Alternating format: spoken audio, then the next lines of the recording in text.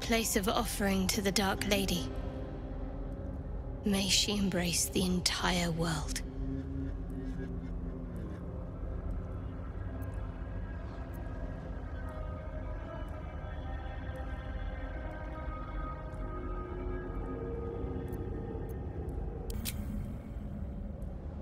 A pleasurable shiver runs down your spine.